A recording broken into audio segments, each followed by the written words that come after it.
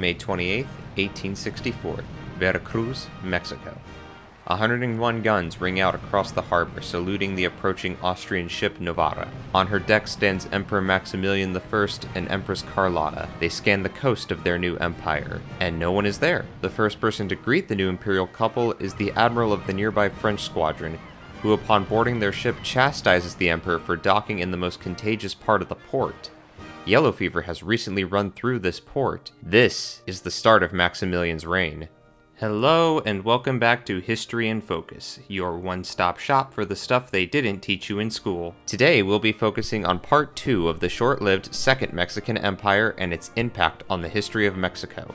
Just remember to give Freedom a ring and hit that subscribe button. After disembarking, the new imperial couple was finally greeted by their host, Juan Almonte Ramirez. Part of the Regency government of Mexico, Almonte had been the former Minister of War to the conservative Mexican government.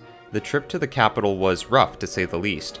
There was no railroad that went to Mexico City, so the journey had to be completed on rail and then carriage through rickety and incomplete roads. They would finally reach the capital on June 12th. It was time for the real work to begin. After about a week's worth of balls and celebrations, that is. This would become a common theme during the Empire. Anyway, Maximilian sought to create a modern, liberal government once he got to work. He wanted his empire to be supported by all of the people, not just the landed aristocrats and his divine right to rule. However, he would still have to win most of his new empire, as only the central states of Mexico had recognized his reign or were occupied by French soldiers. President Juarez and his supporters were in Monterrey Nuevo Leon, on the border of the United States. And there were other problems as well. Mexico was severely in debt even more than before this expedition had begun. Under the Treaty of Miramar that Maximilian had signed, Mexico had to pay for the French army protecting it, but the Mexican government didn't make nearly enough money to pay for the costs of governing, let alone an army, and the loan the French had given them wasn't going to last forever. Maximilian, however, seemed more interested in designing his imperial residence. Despite this, the emperor did begin to form his government, and immediately began to alienate the conservatives that helped put him in power by smartly inviting and appointing moderate liberals to his cabinet. On the military front, the French and their Mexican allies were consistently winning battles against the Republicans, and yet he continued to make mistakes in foreign and domestic diplomacy. On December 27th, he decreed freedom of worship in Mexico and the sale of the church property. This royally ticked off the conservative clergy, as well as the recently arrived ambassador from the Pope. He then went on to disband the Mexican army, fearing it was more loyal to conservatives than to him. Despite this, he also passed some of the most liberal policies anywhere in the world, including, but not limited to, limiting the working hours, requiring lunch breaks, regulating child labor, and restoring land ownership to indigenous peoples. Even Carlotta had a native woman as a lady in waiting. Decrees were also printed in Nahuatl, the native language of the Aztecs. However, most of these went nowhere and they were rarely executed or enforced.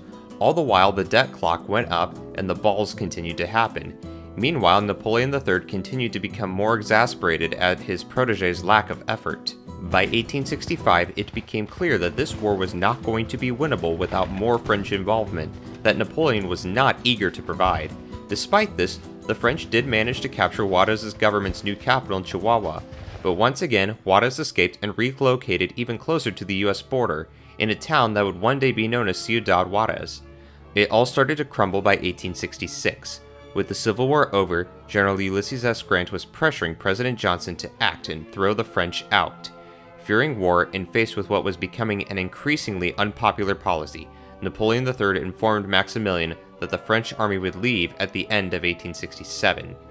By the middle of 1866, things continued to turn south for Maximilian, and by June, he was contemplating abdication. His wife managed to talk him out of it and decided she would travel to Europe to convince Napoleon III, Belgium, and Austria to help their empire. Her efforts would be fruitless, however, and she began experiencing extreme bouts of mental illness, including paranoia, anxiety, and nightmares.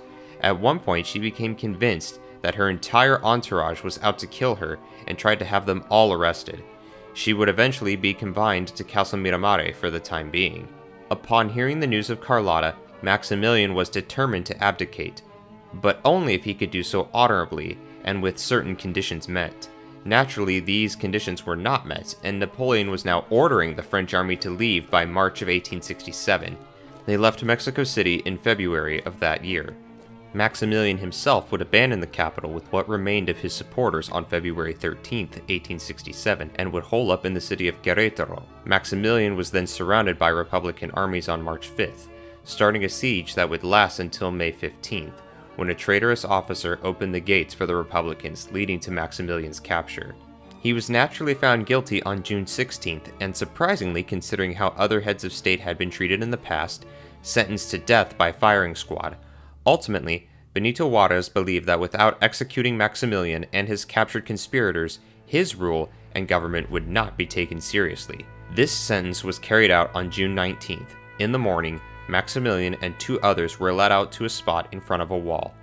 In the traditions of other soon to be executed monarchs, Maximilian gave each man in the firing squad a gold coin and asked them to aim for his heart. His last words were, I forgive everyone, and I ask everyone to forgive me. May my blood, which is about to be spilled, end the bloodshed which has been experienced in my new motherland. Long live Mexico! Long live its independence! Then shots rang out. Maximilian I, Emperor of Mexico, was dead, and the Second Mexican Empire was over. Empress Carlotta would die in 1927, a depressed and very likely insane woman. The legacy of the Second Mexican Empire is mixed, as Maximilian attempted to speed up the industrialization of Mexico with railroads and better infrastructure. The constant fighting slowed this progress. Despite trying to recognize the indigenous peoples of Mexico, Maximilian was often thwarted by weak or unwilling officials. It was supposed to be a government of stability and unity, but instead brought further instability and bloodshed. Soon after the end of the empire, Mexico would find itself under the control of a military dictatorship led by Porfirio Diaz in 1876, and then another revolution that lasted from 1910 to 1920. While noble in his intentions, Maximilian was installed in the most illegitimate fashion. Perhaps his reign would have been longer and more stable had he done more to fix Mexico's problems. He had been led astray in his understanding of the situation before he became emperor, but ultimately, the choice to take the throne and thus his grave, was his. If you enjoyed this week's content, please subscribe for future videos. Let us know what you thought in the comments below and what you would like us to cover next.